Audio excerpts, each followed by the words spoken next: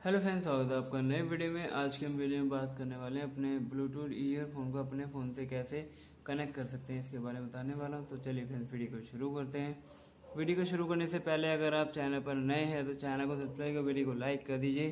Friend जैसे कि आप देख सकते हैं, मेरे पास ये वीवो का फ़ोन है और आपको सबसे पहले क्या करना है सेटिंग पर क्लिक करना है। तो सेटिंग पर क्लिक कर लेते हैं फ्रेंड्स, यहाँ पर।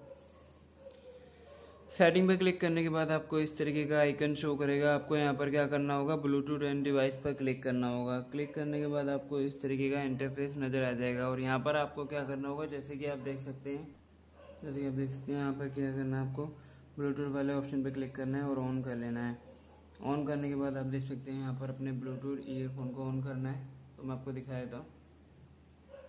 जैसे कि हमारा ये ऑन हो गया है और यहाँ पे आप देख सकते हैं, मेरे पास ये यूबोन का है। तो यहाँ पर भी यूबोन का शो करेगा। अगर शो नहीं करता है तो पेयर नी डिवाइस पर क्लिक कर लीजिए।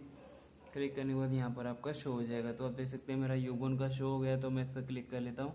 क्लिक करने के बाद आपको ये देख सकते हैं पेयर के ऑप्शन पे आएगा और आपका ये कनेक्ट हो गया है।